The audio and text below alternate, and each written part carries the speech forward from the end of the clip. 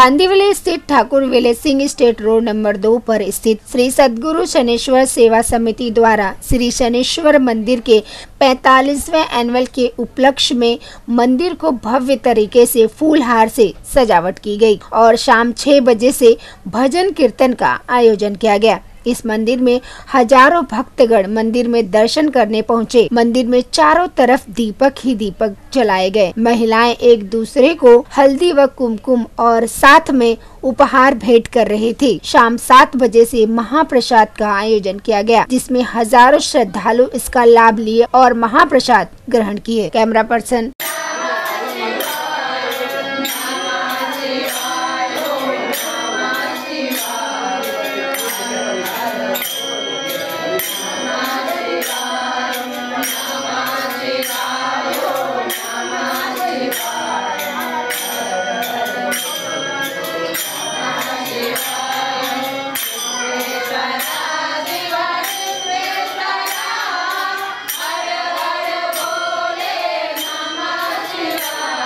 सचिन कांबले के साथ गीता यादव मेट्रो मुंबई।